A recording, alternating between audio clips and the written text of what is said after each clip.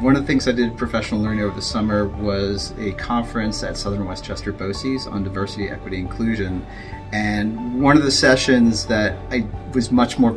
more valuable than I even imagined was it was called um, Diversity, Equity, Inclusion, Hopes and Fears, and it was a strategy for working with the group to sort of outline you know, what are things that you're hoping for in terms of inclusion in your school or your school district, and also what are things that you fear. And that's an activity um, that we did, you know, ended up using it with adults in the school district to sort of set our purpose for what we're doing, and also working with the Cultural Diversity Club at the high school. It was an exercise. It was it's sort of a way to